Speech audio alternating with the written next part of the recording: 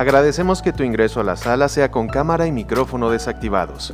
Si quieres realizar alguna pregunta a los conferencistas, la puedes hacer por medio del chat y nosotros se la haremos llegar. Al final del evento te estaremos invitando a que prendas tu cámara para tomar una foto grupal.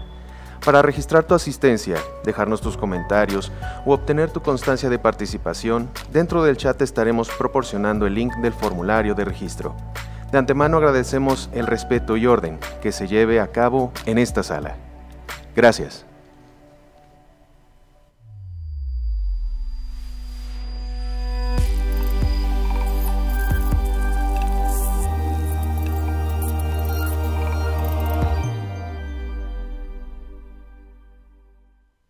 El gobierno del estado de Guanajuato, a través de la Procuraduría Ambiental y de Ordenamiento Territorial, les da la más cordial bienvenida al penúltimo día del Congreso Anual PAOT 2020, Ordenamiento Territorial y Administración Sustentable.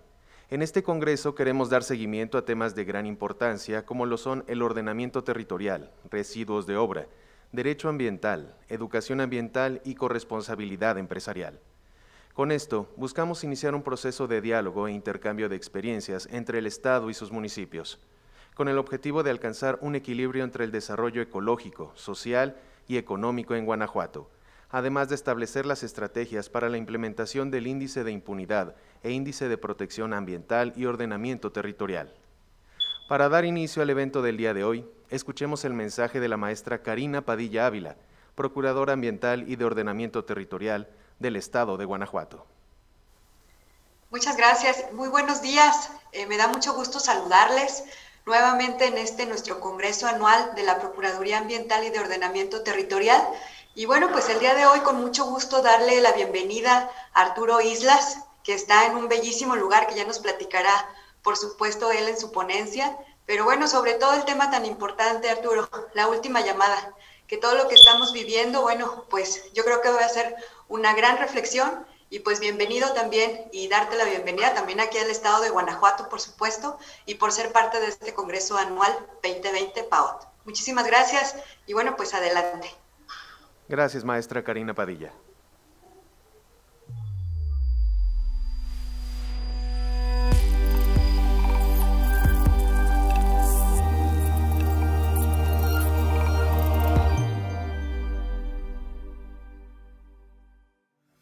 Arturo Islas Allende. Es conductor y productor de televisión mexicano enfocado en crear contenidos relacionados con el activismo social y con la promoción del cuidado del medio ambiente. Tras haber salido en varias producciones de cine en México, en 2014 obtuvo su propia sección en el programa Mojo, donde compartía la importancia de cuidar el medio ambiente y comenzaba a posicionarse como activista ambiental. En 2015 se une al programa Hoy, donde también daba a conocer la vida animal y el medio ambiente y sus problemas. En ese tiempo comienza a realizar cápsulas de denuncia en redes sociales sobre el deterioro del medio ambiente, así como las afectaciones a la vida animal resultantes de la actividad y explotación humana. En ese mismo año, Arturo se introduce como productor con su programa Indomable X Naturaleza, el cual fue transmitido a nivel nacional a través del canal Azteca 7. Este tenía el fin de divulgar la vida salvaje mexicana, así como concientizar a los espectadores de la importancia de su conservación. Tras el éxito de su programa, fue invitado a participar en la transmisión de la Copa Mundial de Fútbol en Rusia para crear cápsulas en las que se diera a conocer la vida animal del país sede. Con cápsulas dentro del programa, los protagonistas, al lado de Cristian Martinoli y Luis García, Grabó a más de 60 animales en Rusia y luego llevó a cabo el mismo trabajo en el torneo Copa América en Brasil. En 2019 se unió a Comunal, agencia de impacto social que ha ayudado a levantar su carrera como conferencista en todo el país para platicar su testimonio de vida y transmitir un mensaje positivo y esperanzador, invitando a todos a actuar de forma responsable e inmediata. En 2020, Arturo estrenó su documental El último suspiro, en donde colabora con Regina Domingo, conservadora marina, Gerardo del Villar, fotógrafo subacuático, y Andrés Novales, biólogo y fotógrafo, con el propósito de mostrar los cambios en la actitud y actividad animal debido a la situación provocada por el confinamiento luego del brote pandémico del COVID-19. El mismo año, fue elegido para ser el conductor del reality Survivor México, siendo la primera vez que el programa internacional estaba bajo la conducción de un comunicador mexicano. Bienvenido Arturo, adelante.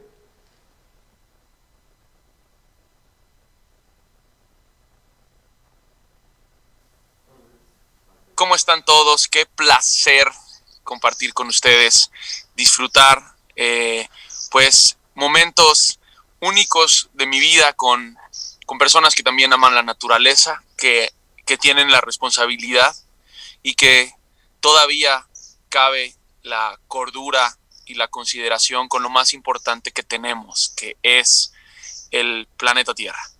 Los seres humanos no podemos sobrevivir, no podemos coexistir, ni siquiera podemos tener la posibilidad de pensar que podríamos mantenernos en este planeta sin los beneficios que nos da la naturaleza.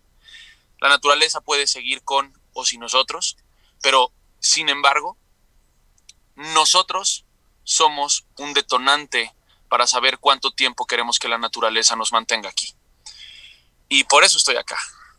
Estoy muy feliz de poder compartir. Gracias a la procuradora Karina Padilla por involucrarme en esto, por darme la oportunidad de llegar a muchas más personas a través de estas conferencias, que a pesar de que son digitales, nos unen, nos conectan y nos hacen llegar mucho más lejos. Y creo que eso es lo más valioso de la voz de alguien que tiene la posibilidad y el privilegio de impactar en muchas más personas. También quiero eh, agradecer, me han platicado infinidad de veces eh, por estos guardianes ambientales eh, que han luchado mucho en las áreas naturales protegidas del estado de Guanajuato, eh, que se sientan motivados, que no paren, que no se detengan, que continúen su lucha y que no se dejen vencer hacia ninguna adversidad. Esto más que una conferencia es una plática que nos conecta para poderles transmitir a través de lo que yo he podido ver, lo que he podido aprender y que quizás, perdón, y que quizás eso pueda ser algo que los contagie de algo muy positivo. Si se fijan, yo estoy en este momento en la naturaleza, atrás de mí son dos volcanes guatemaltecos. Quiero eh, compartirles esto antes de que podamos seguir platicando sobre la importancia y, las cosas que quiero comunicarles. Eh, estoy en la mitad de la nada, se los voy a mostrar. Eh, me gusta mostrarles esto. Si vieron ahora que se cayó mi celular, vean por qué. Está sostenido mi celular por un zapato. Estoy en un lugar bellísimo.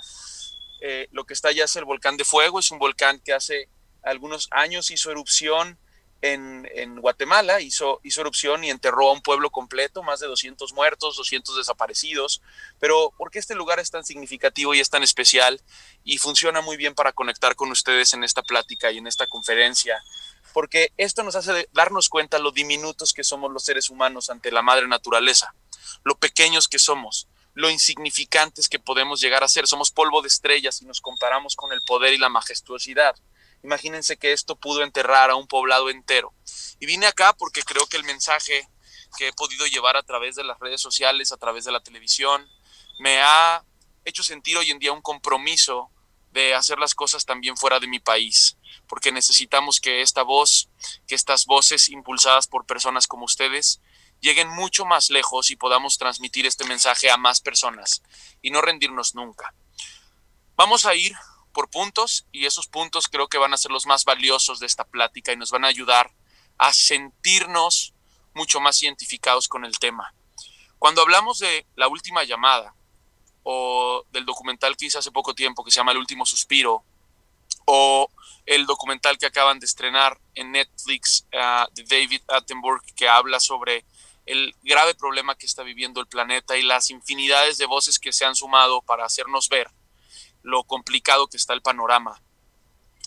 Y esta última llamada consiste en sensibilizar a la mayor cantidad de personas para que los diferentes granitos de arena que pongamos sean tan grandes y, puedan generar un cambio verdadero dentro de lo que estamos viviendo. Les quiero platicar que hoy en día hay ciudades como Ciudad del Cabo, en Sudáfrica, que llegaron a la hora cero del agua. ¿Qué es la hora cero? quiere decir que ya no hay agua y que tuvieron que ah, utilizar las desalinizadoras, que son procesos muy caros, difíciles, tecnológicos, para poder sacar agua del mar y de los lugares más cercanos y así poder proveer esta ciudad de agua porque llegaron a la hora cero. Les quiero decir que México como tal, el país, eh, hay ciudades que enfrentan problemas muy duros por el agua y que eso también eh, nos hace darnos cuenta que el problema no nada más va a ser el calentamiento global, sino la sequía. Las precipitaciones, ¿qué quiero decir con esto? Las lluvias suceden por un reloj biológico que es perfecto, por engranes que funcionan de la, de la manera ideal para que todo pueda funcionar en el planeta. La precipitación es la lluvia. Sin corales, sin selvas, no podemos tener lluvia. Y desafortunadamente estamos viviendo uno de los problemas más graves que existen relacionado con los corales hoy en día y lo estamos viviendo incluso en nuestro Caribe mexicano. Los corales están muriendo. Es una mancha blanca que está acabando con todos los corales, que está haciendo que desaparezcan del planeta, que estén eh, marchitándose, imagínense como si fuera una flor que se está eh, desintegrando, eso está pasando con nuestros corales. Con las selvas es exactamente lo mismo. La necesidad tan grande de los seres humanos por eh, seguir reproduciendo diferentes situaciones para generar alimento, porque el alimento es necesario, hay una batalla, hay una batalla que es muy grande entre entre el ser humano y la naturaleza, que es buscar nosotros la supervivencia, pero dentro de la supervivencia hemos generado muchas cosas. Entre ellas han sido eh, pues grandes plantaciones eh, de, alimento que con diferentes eh, químicos y procesos biológicos que alteran la tierra hacen que nazcan porque ya la magnitud de seres humanos que somos demandamos mucho alimento. Y entonces tenemos la depredación de nuestras selvas, ¿no? Intercambiamos bosques de ceibas eh, eh, hermosos y milenarios por eh, lugares de palma de aceite o intercambiamos el cauce de los ríos para poder obtener agua. Y todas estas modificaciones a la naturaleza están haciendo que lleguemos a un colapso, que ese es el más grave de hoy en día, que es el calentamiento global. Hay personas que no creen en el calentamiento global porque no lo viven, porque quizás estás dentro de tu casa, estás en la sombra y el calentamiento global no es algo que te haga sentirte preocupado, porque tú estás ocupado con tu día a día y tus problemas cotidianos, con tu vida, con salir adelante, con la parte económica, con poder triunfar eh, en la vida y creer que el éxito es únicamente la parte económica. Y esa, esa situación tan egoísta de los seres humanos que tiene que ver con el consumir, que es quiero consumirlo todo. Y eso es lo que está acabando con nuestro planeta. El querer tener absolutamente todo está marcando una diferencia y si nosotros subimos únicamente un grado más, esto va a colapsar y estamos muy cerca de que suba un grado más. Aunque se diga que hay muchos activistas ambientales que tratamos de inclinarnos la balanza hacia diferentes lugares.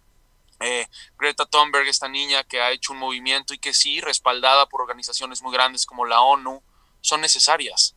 Arturos, ojalá hubiera muchísimos. Y no hablo desde el ego de lo que yo he hecho con mi trabajo, sino hablo desde la preocupación que tengo para lo que le va a tocar a mis hijos, para lo que le va a tocar a tus hijos, para lo que le va a tocar a los jóvenes que hoy en día están empezando una vida y que realmente yo he visto con mis propios ojos cómo se han derretido los polos y cómo el planeta nos está haciendo una llamada de atención. Por eso es la última llamada. Me encantaría que pudiéramos ver eh, los osos polares. Hay un video que tengo sobre osos polares que está ahora, lo tiene la producción. Me gustaría que lo pusiéramos, que lo viéramos y que después de eso platiquemos un poco de lo que vemos ahí.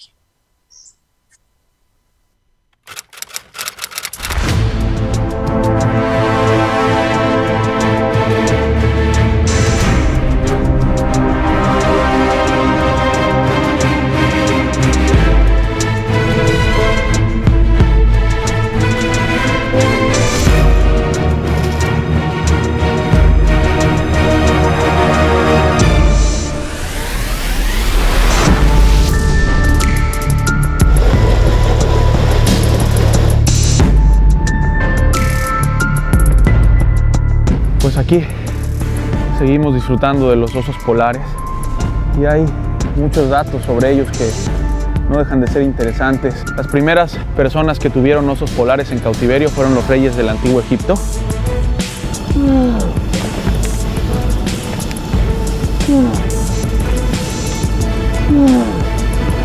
escuchan es una madre que está llamándole a sus cachorros.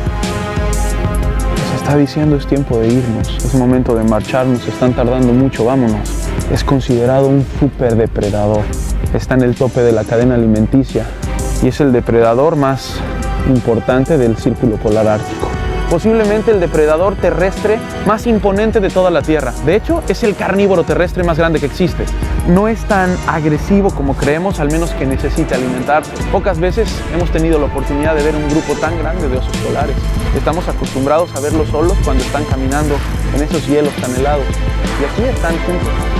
Hace no mucho tiempo, unos científicos se vieron acorralados en la isla de Tronoy en Rusia por los osos polares un grupo de osos polares estuvo merodeando la cabaña o la estación en donde ellos estaban y acorralaron a estos científicos por mucho tiempo. Incluso tuvo que venir la Marina rusa en un helicóptero a rescatar a estos científicos que la estaban pasando verdaderamente mal.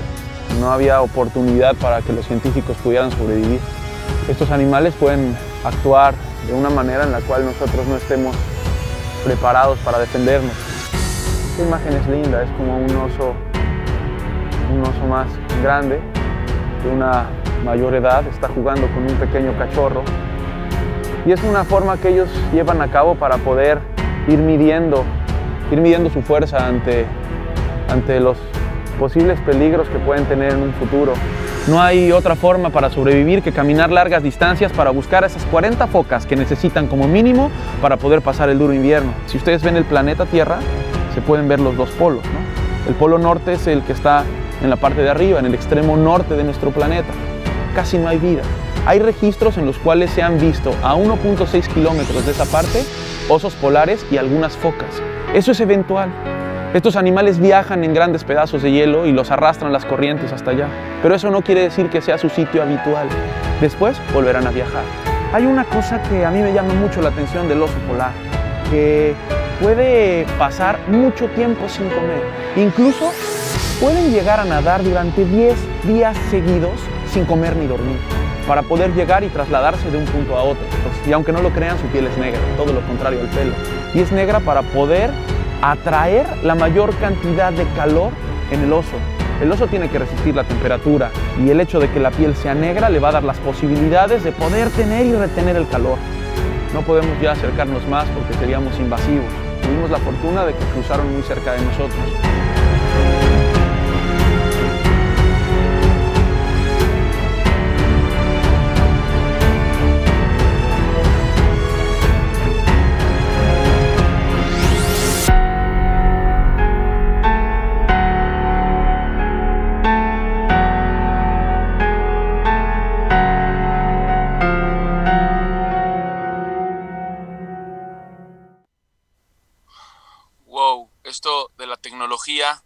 Eh, tenía tiempo que no veía completa esta cápsula, por lo general la voy fraccionando conforme voy explicando, pero bueno, no nos escuchábamos, pero valió la pena que la viera yo nuevamente para recordar esos momentos y compartírselos a ustedes.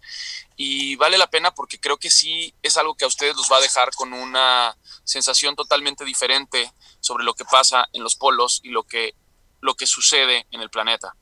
Eh, vieron que hay algunas escenas en donde hay muchos osos polares hay unas hembras que están muy gordas. Normalmente si ustedes buscan diferentes documentales sobre los osos polares en internet o en, las diferentes televisoras que se han dedicado, llámese Nat Geo, Discovery Channel, BBC de Londres, verán que los osos polares se han ganado un título de animales solitarios. Sin embargo, yo en esta cápsula presento un grupo muy grande de osos polares, son muchos que están en grupo. Y eso tiene una razón y tiene que ver con el calentamiento global. También quiero que se den cuenta que en esa cápsula los osos, eh, primordialmente los más grandes, se veían muy gordos, gordísimos, cuando no son tan gordos. Les voy a explicar qué es lo que pasa y qué, es lo que está sucediendo en el, círculo polar ártico, porque ya lo vi con mis ojos y espero que esa experiencia pueda transmitirles a ustedes lo suficiente para querer cambiar su día a día y sembrar un granito de arena, porque ahorita les está tocando a los osos, pero después nos va a tocar a nosotros, porque así es la naturaleza, porque así son las cosas y no vamos a poder frenar si nosotros no frenamos por una voluntad propia. Esos osos, ese grupo de osos tan grande es porque los osos más jóvenes eh, y en general cada oso necesita alrededor entre 30 y 40 focas para poder sobrevivir cazando el frío invierno. es decir, salen, caminan en el Ártico. Hoy en día cada vez es más difícil caminar en el Ártico porque el hielo nunca llega. Se fijan, había partes de tierra. Yo tenía que filmar esto para Rusia 2018, para el Mundial, y desafortunadamente cuando llegamos no había hielo. Y eso que estábamos en una época que ya tenía que haber hielo. Desde septiembre tiene que haber hielo ahí. Tuvimos que regresar en agosto eh, eh, perdón, viajamos en septiembre, eh, viajamos en agosto, tuvimos que regresar en, en, septiembre, luego volvimos a ir en octubre, en el mes de octubre todavía no llegaba el hielo, y así nos la fuimos jugando hasta los finales de noviembre que apareció el hielo, cuando antes el hielo, acabándose el mes de agosto, comenzaba a verse. Ahora los, los osos polares no tienen hielo para caminar. ¿Y qué ha hecho eso? Que estén aislados cerca de las provincias de esquimales y están tan gordos porque se alimentan de los basureros y todos los desechos que deja la gente. Ya no van por sus 40 focas. Pero hay algo aún peor. Esas hembras que ven ahí están rodeadas de tantos osos porque son osos jóvenes que están tratando de buscar arrebatarles la comida que cazan. O sea, si esas hembras que traen cachorritos llegan a cazar una foca, bueno, pues hay jóvenes osos alrededor que le van a robar esa foca a la osa. Entonces, una sola osa tiene que cazar a veces hasta para seis osos. Y evidentemente eso hace que se vean después muy flacos y que mueran.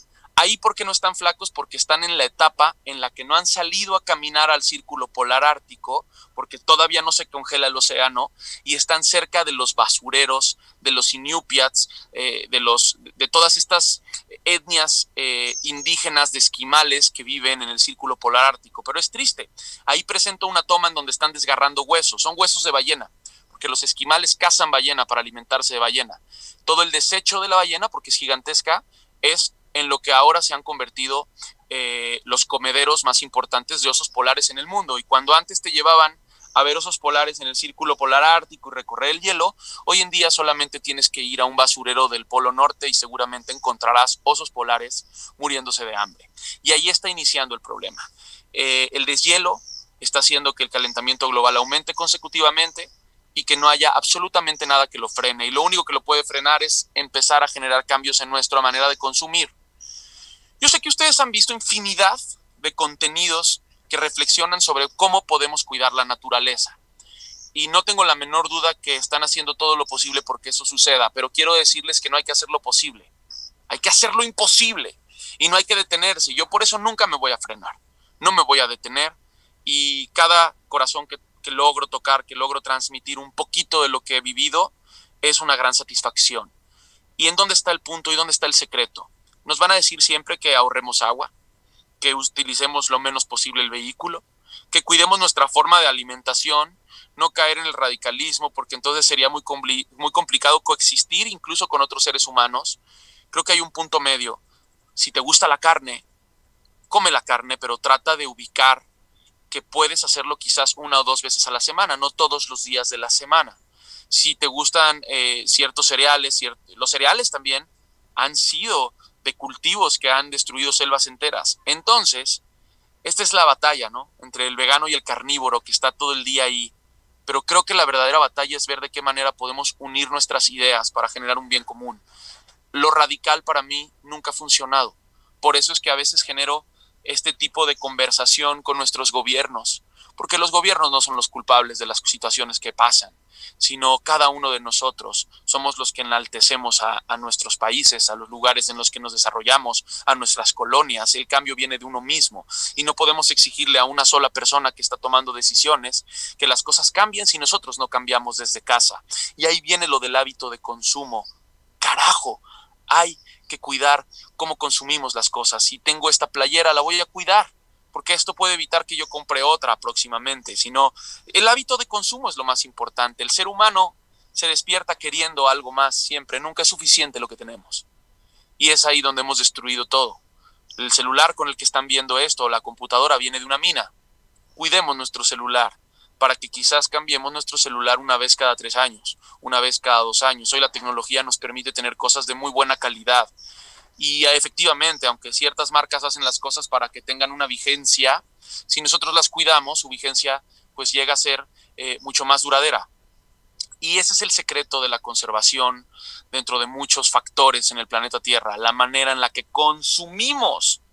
El ser humano se ha vuelto un explotador que no se detiene y que mide el éxito con la manera de consumir, con la manera de tener, y seguimos consumiendo espacios. Por eso yo los invito a que la labor que ustedes pueden hacer desde casa es hoy en día ubicar las etiquetas de lo que consumimos y si venimos también de, de, los problemas económicos que se, se, han desencadenado en nuestro país y la gran lucha que han tenido muchísimas personas por salir adelante y que a veces eso cuesta trabajo para poder elegir qué producto consumir, si uno es más caro o el otro.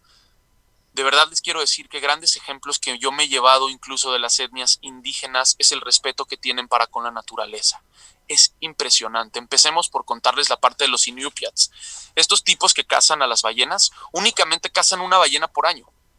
Y esta ballena que cazan por año será la que guardarán congelada en el Polo Norte y pobre de aquel que se atreva a cazar otra ballena eh, fuera de temporada, porque será desterrado. No se vale cazar una ballena fuera de temporada. Eh, he subido a lugares en Oaxaca, en donde las personas que se dedican al campo están buscando en qué proyectos de conservación pueden mantenerse firmes para ayudar a los jaguares, por ejemplo, animales que han sido golpeados por la, por, la explotación de sus selvas, la explotación de su hábitat. Me he llevado eh, mensajes de los indígenas peruanos, Aquí en Guatemala, ¿qué les puedo decir?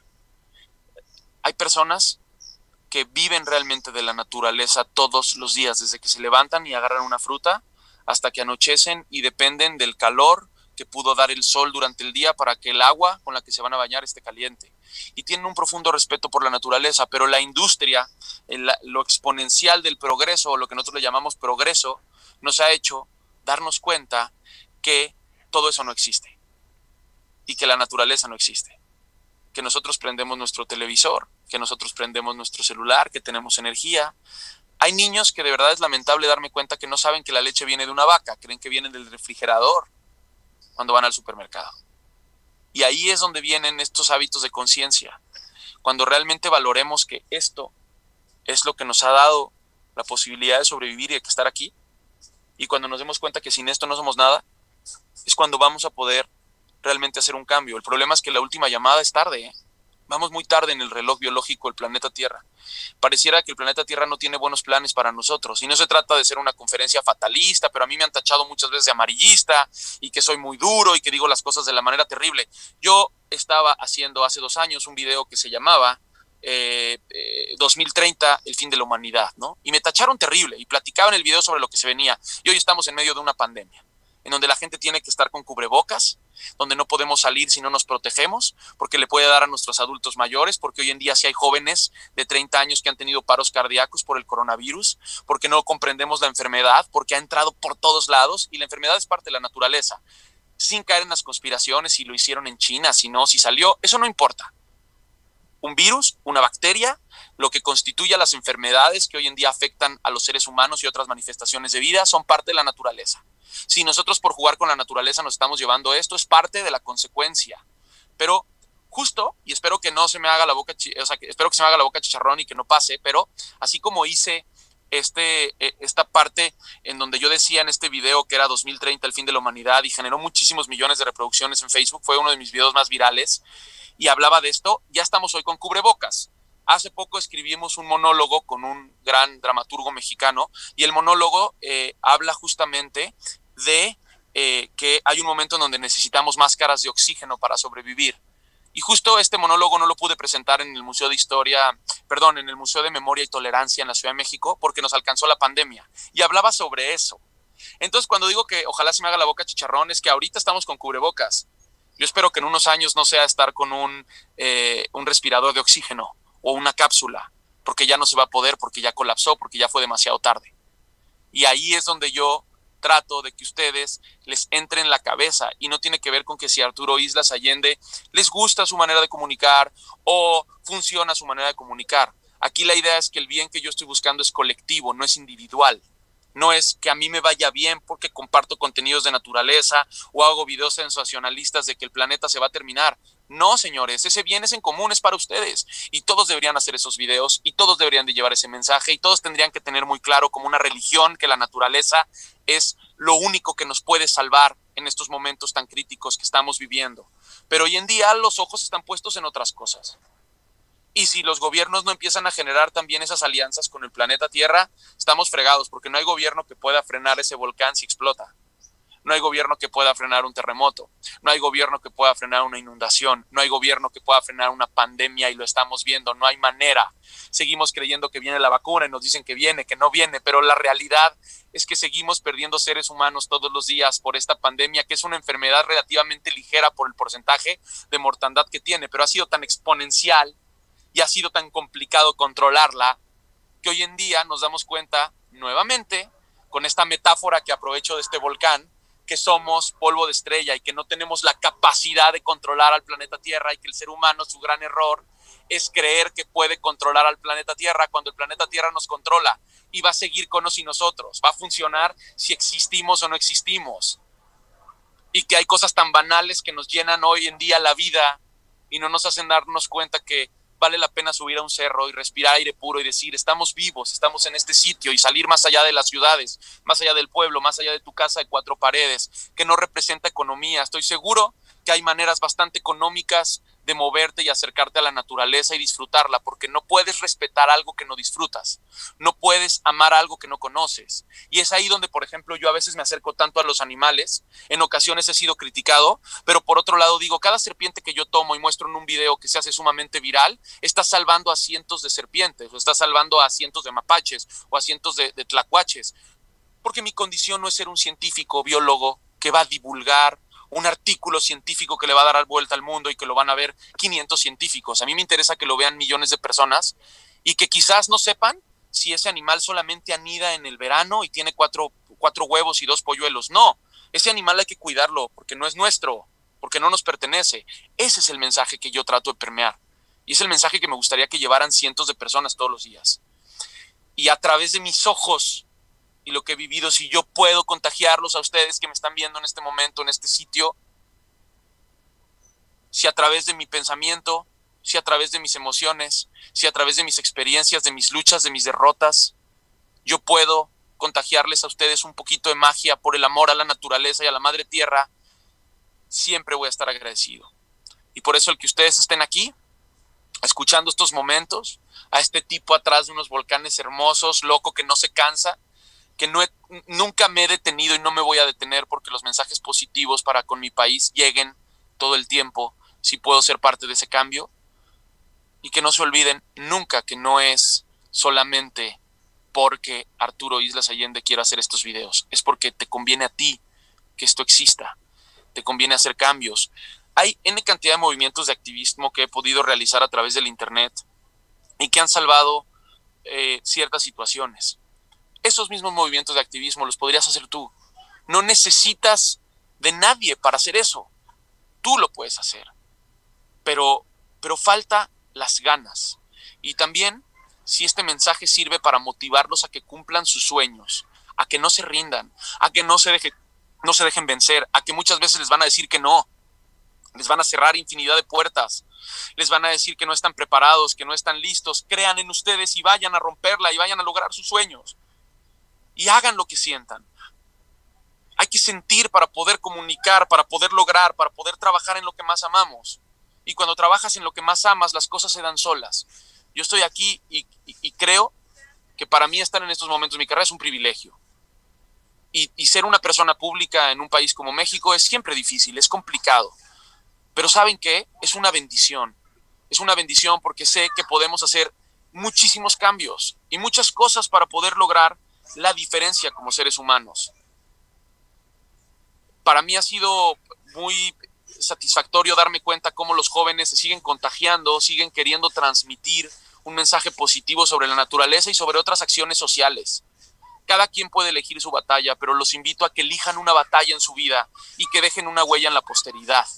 Que no se conformen con solamente existir. Salgan de su zona de confort.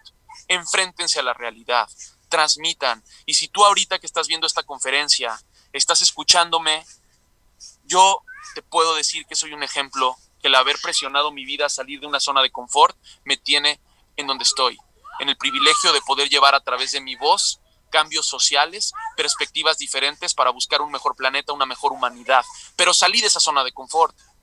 Y tú puedes salir de ahí. Solamente es que creas que puedes hacerlo y lo hagas. y confíes en ti y no te detengas y no esperes que las cosas se den solas por añadidura sentado en tu, en tu cama o en tu sillón esperando a que pasen. Hay que salir, hay que luchar, hay que intentarlo, hay que machacarle, hay que llorar, hay que lacerarse y hay que sentir realmente que las cosas duele para poder lograrlas. Pero ese dolor, al final, cuando estás viendo los grandes resultados que puedes ejercer, cambia a una gran satisfacción. Cuidemos lo que tenemos, cuidemos lo que nos queda, transmitamos este mensaje. Lo más valioso que me gustaría que se llevaran terminando esta plática es, ¿saben que había un tipo loco atrás de unos volcanes en Guatemala? Un mexicano que lo único que nos dijo es, valoren esto, valoren a la tierra, valoren nuestra fuente de oxígeno, nuestra fuente de vida, nuestra fuente de agua. Si no hay agua, no hay vida. Si no hay oxígeno, no hay vida. Es como el amor que mueve a los seres humanos. Es como cuando te enamoras de una pareja y no te detienes tratando de buscarla porque estás enamoradísimo y te rompió el corazón. Ojalá todos los seres humanos se enamoraran así de la madre tierra. Es una conexión incluso con la religión que predique cada uno de ustedes es el espíritu, es el ángel de los seres humanos, es la motivación para poder seguir adelante sin perder la batalla. Hagan esa diferencia, hagan ese cambio. Acciones importantes y concretas antes de terminar esto. Me gustaría saber si el moderador me puede ayudar con el tiempo que llevamos de esta plática. Me gustaría también destinarles algo de tiempo a sus preguntas en el chat poderles contestar desde aquí personalmente y que esta distancia tecnológica no nos haga sentir lejos, nos haga sentirnos cerca y yo pueda seguir conviviendo con ustedes. Así que demos un tiempo a este momento, a que platiquemos, a que me tiren las preguntas que tengan para mí y yo se las voy a contestar con todo el cariño desde lo más profundo de mi corazón y con la única intención de contagiarles un poco de esta energía que a mí no me deja nunca rendirme ni bajar la cabeza. Entonces, moderador, estoy a tus órdenes y escuchando lo que tengan las personas que estén viendo esta conferencia para compartir. Gracias Arturo, gracias por todo. Este, teníamos todavía antes de las preguntas otro video tuyo. ¿Te parece que, vamos a este video? Eh, quizás, eh, más allá del video, yo quisiera, si no tenemos un problema de tiempo, porque creo que las personas me han visto en la televisión, me han visto en las redes, eh, esta más bien es una plática para ellos, más que para mí. Entonces, si ese tiempo del video lo podemos destinar a las preguntas, si ustedes no tienen ningún conflicto, o ver eh, lo que ustedes decidan. Si quieren lo vemos, luego vamos a las preguntas, y si no, destinamos ese tiempo a las preguntas. Creo que aquí la gente es la que tiene que decidir, porque yo estoy ahora dedicando mi tiempo 100% para ellos y para platicar con ellos. Claro que sí, mira. Entonces, eh, te hago una primera pregunta. ¿Qué fue lo que te inspiró a trabajar en pro de la naturaleza a pesar de no necesariamente tener una profesión de medio ambiente? Es una de las que nos hacen llegar. Es una, es una pregunta que siempre me, me toca y me conmueve porque mira, yo, yo vengo de una familia disfuncional, con mucho amor, pero normalmente estas familias disfuncionales mexicanas en donde eh, muchos jóvenes tenemos que salir adelante en algún momento de nuestras vidas y subsistir y tratar de, lograr nuestras metas con todas las adversidades que existen.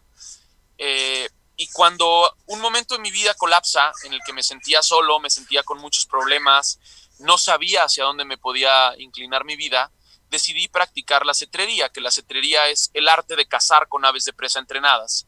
Eh, es un método, todos dirán, ¿cómo Arturo cacería? Es un método de cacería natural en donde los halcones entrenados cazan a sus presas y con esas presas eh, puedes alimentar a otros halcones o incluso la cetrería es la posibilidad, es un arte milenario que está eh, hoy en día, pues la ONU lo ha puesto como un patrimonio de la humanidad. Antes lo hacían las etnias en todo el mundo para poder sobrevivir. Pero ¿a qué viene la cetrería en mi vida? Que a mí un halcón me saca de muchas cosas en mi vida, de problemas, me saca de la soledad, me, me, lleva al campo. ¿Por qué? Porque yo tenía que entrenar mi halcón y salir al campo y volarlo y, disfrutar de eso. Eh, me tuve que acercar a organizaciones que se dedicaban a eso formalmente. Por alguna razón un vecino lo hacía. Y, y, yo me pegué a él desde muy niño, desde muy niño. Me recuerdo que iba a lavar a su casa las jaulas para, para que me llevaran a ver un halcón peregrino volar, porque me apasionaba verlos, cómo bajaban a 350 kilómetros por hora para cazar un pato, era impactante y eso marcó mi vida. Y empecé a salir al campo y para mí me regía mucho más ir al campo que a la escuela. en vez de irme de pinta como muchos otros lo hacen y se van a, un lugar a echar trago. Yo no, yo me iba al campo y me podría perder semanas ahí, en el desierto de San Luis Potosí. Me encanta ir al desierto de San Luis Potosí, pero a los 13 años yo ya andaba en las carreteras con estos amigos y, y bueno, vi muchísimas cosas de la naturaleza, ¿no? Ahí comencé con mi cercanía con las serpientes, con los reptiles, los sapitos cornudos, las serpientes de cascabel, y eso me conectó con la naturaleza y me hizo ver una gran responsabilidad. A partir de eso me di cuenta que la rehabilitación de aves de presa con la cetrería era muy buena. Tú no podías liberar un halcón que había sido lastimado o traído del tráfico ilegal si no estabas seguro que estaba listo para ser libre. ¿Y cómo ibas a estar seguro el día que lo ibas a ver que era capaz de cazar una liebre solo? y ahí sabías que ese halcón podía volver a regresar a la libertad. Y ahí conocí infinidad de personas dedicadas a la naturaleza, después biólogos, científicos, y siempre fui fanático de los documentales de naturaleza. Estudié mi carrera de actuación fuera de México porque yo sabía que parte de la gran parte de mi vida tenía que ver con el histrionismo porque yo daba pláticas de medio ambiente cuando era muy chavito para ganar lana. Y ahí comienza esta conexión que nunca frenó, que siempre siguió y que me fue llevando sin ningún tipo de eh, problema a lo más eh, interesante de mi vida, que es la naturaleza. Y después, la sensibilidad de darme cuenta que a partir de ese mensaje podía permear en las personas y que había muchas más otras personas que también estaban preocupadas por la naturaleza. Pero todo empieza con un halcón en el puño. Es, es, un poco parecido a un gran naturalista que les invito a que lo conozcan, a que lo busquen en, en, en Google. Ya falleció, es Félix Rodríguez de la Fuente. Es un gran naturalista que es eh, una maravilla su trabajo y que él también me inspiró a muchas cosas, Steve Irwin, Jeff Corwin, y de ahí nace, y después la serie de televisión, y todo explotó y lo pude asociar con la actuación, pero yo actué porque tenía que resistir, tenía que comer en una ciudad muy difícil, que es la Ciudad de México. Muchísimas gracias, Arturo. Tenemos comentarios, te voy a ir diciendo también algunos. Buenos días, increíbles paisajes de la naturaleza, felicidades, excelente ponencia. Saludos para todos, Desarrollo Urbano Moroleón, Guanajuato. Voy con otra pregunta.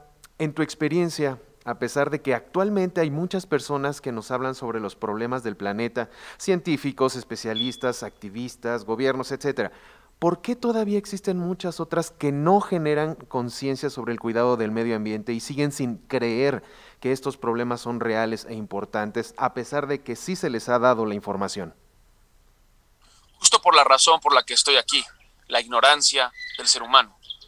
Yo esa es mi gran batalla, el luchar contra la ignorancia. Insisto, no puedes proteger algo que es desconocido. Y muchos seres humanos han nacido en lo desconocido. No han tenido esta cercanía con la naturaleza, no han vivido estas posibilidades con la naturaleza y eso los ha hecho ser ajenos a la naturaleza. Y entonces el ser humano se ha vuelto un potencializador de la economía, del dinero, de las necesidades, del consumismo. Y ahí es donde se rompe todo. Y ahí es donde los invito a ustedes. Si ustedes tienen un teléfono que que, ya si el teléfono está haciendo un gran daño a la naturaleza, porque es, es, como si yo les digo, no soy perfecto, esta ropa viene en la naturaleza. Muchos nos quejamos, oigan, es que un kilo de carne consume 600 litros de agua para poder ser generado. Sí, y la ropa puede generar 2.000 litros de agua. Un campo de algodón no tiene ni idea las necesidades de agua que necesita para poder generarse. Todo impacta en la naturaleza. El tema es el equilibrio. Y no hay equilibrio porque hay ignorancia. Y ahí está el punto. Justo lo acaba, le acabas de dar al punto de esta conferencia. La ignorancia ha hecho que las personas no estén sensibles por, por el planeta. ¿Por qué?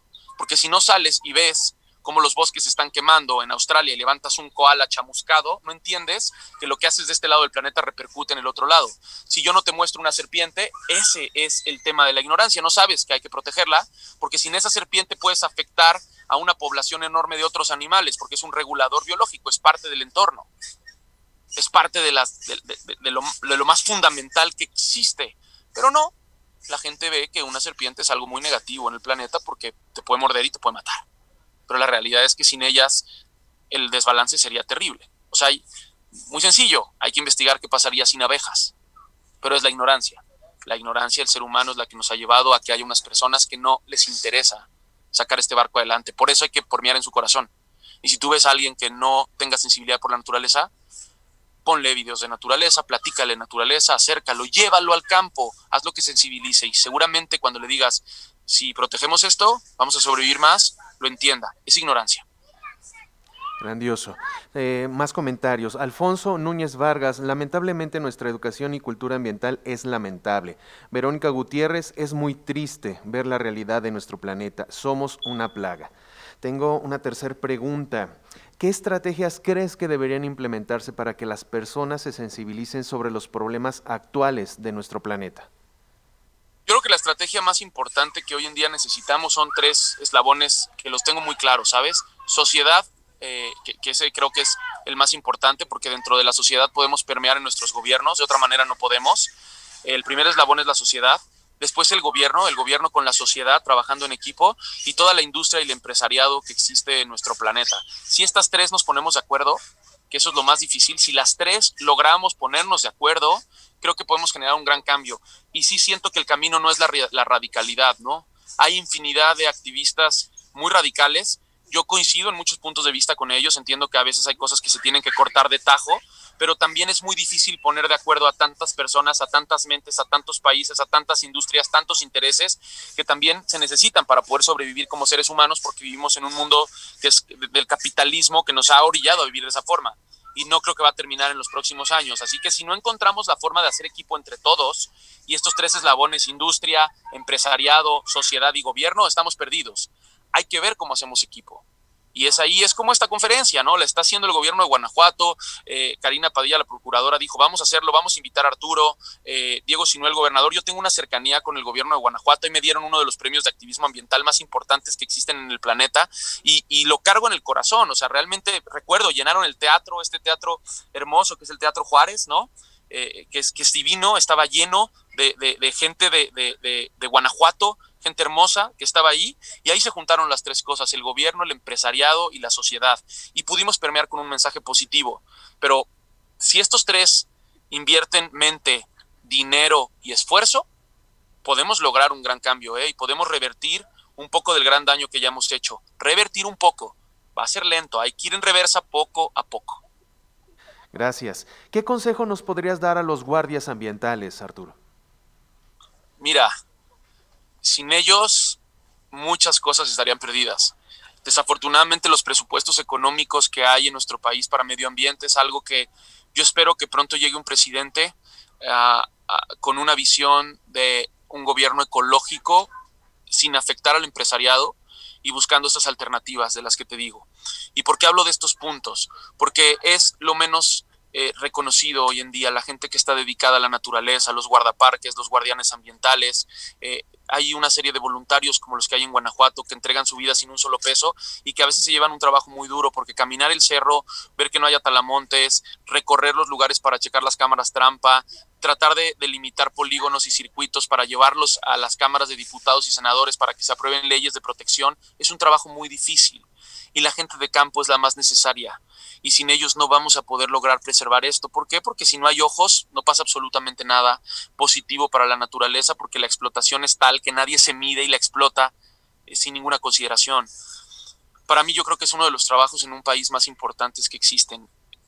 Ve, ve, ve qué fuerte se escucha esto, guardián ambiental guardián ambiental.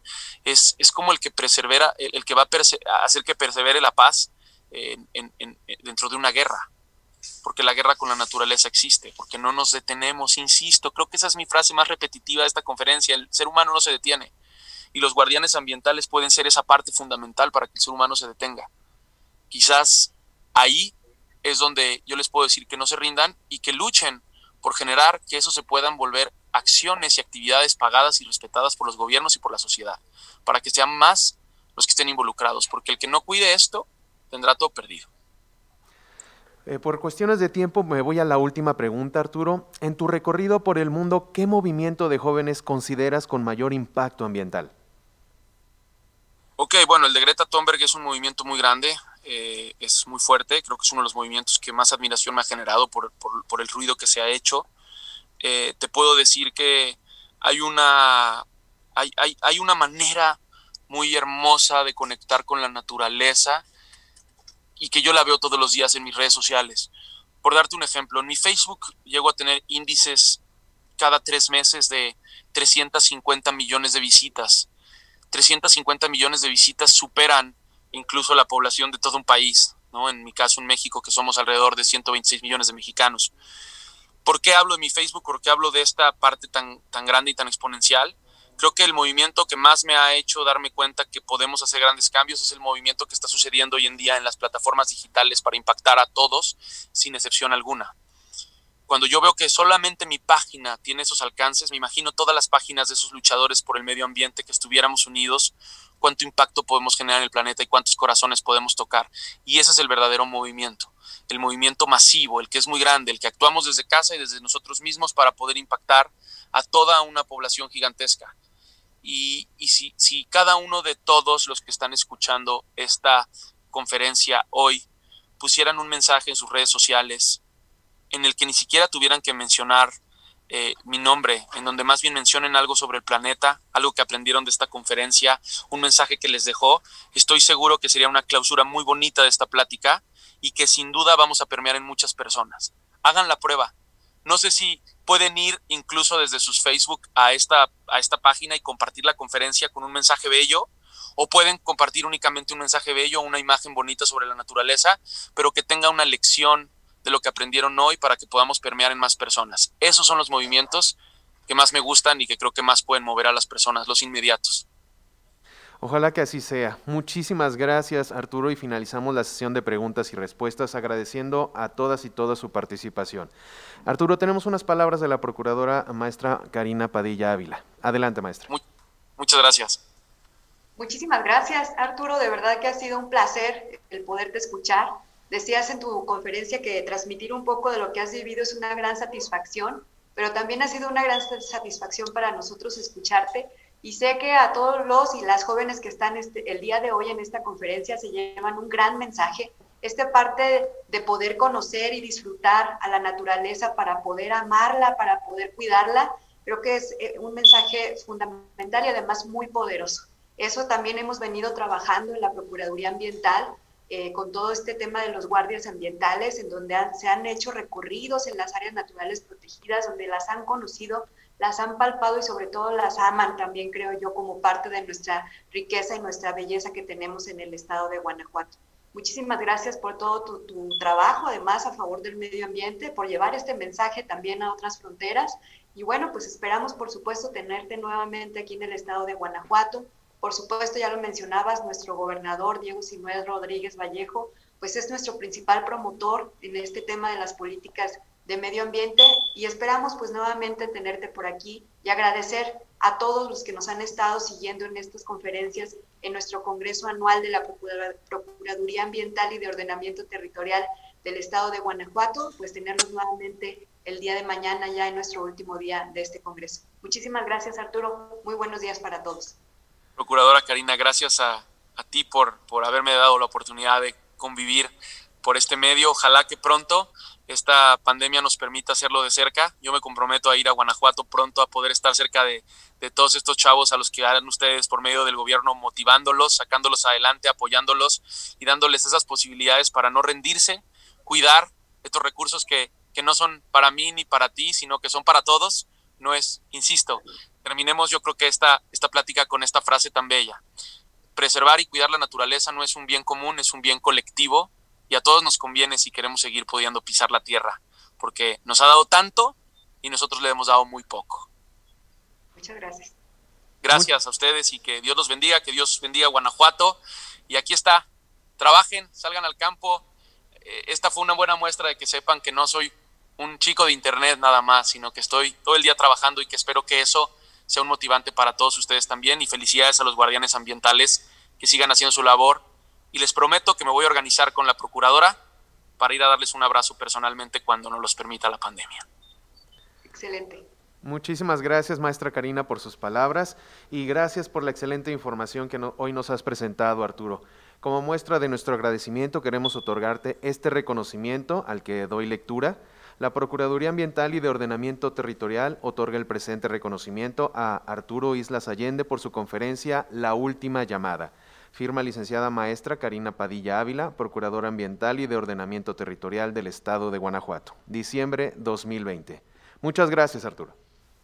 Gracias, moderador, gracias por, por haber estado aquí con nosotros también y gracias por este bonito reconocimiento que también veremos la manera de recogerlo personalmente en el estado tan bello que tienen. Cuídense mucho y gracias por haberme invitado. Hasta pronto, muchas gracias. A todo nuestro auditorio queremos que formes parte de la foto grupal, dejando un precedente de este Congreso anual que por primera vez realizamos de manera virtual. Así que te invito a que en este momento prendas tu cámara. Por favor, prende tu cámara. También te invitamos a registrar tu asistencia, dejarnos tus comentarios o obtener tu constancia de participación dentro del chat y te estaremos proporcionando este link eh, de formulario de registro para que así sea. Sí, déjanos saber. Y pues bueno, amigos, ¿ya prendieron su cámara? Eso. Por favor, va a ser un momento en el que prendan su cámara para tomar esta foto grupal. Muchas gracias a todos por su presencia. Gracias por habernos acompañado en esta mañana. Donde quiera que se encuentren, esperemos que hayan disfrutado de esta conferencia. Gracias a todos por haber encendido su cámara. Genial. Somos bastantes, sabemos que estamos en varias partes de Guanajuato, de, de México y hasta a veces de otras fronteras. Muchísimas gracias a todos. Y quedan todos invitados a nuestra siguiente ponencia en punto de la una de la tarde con nuestra invitada Marisol Chávez con su conferencia Educación Ambiental. Y a las 5 de la tarde, hoy también la conferencia Corresponsabilidad Empresarial con Lorena Terrazas desde Bolivia. Te esperamos. Muchas gracias a todos por su participación.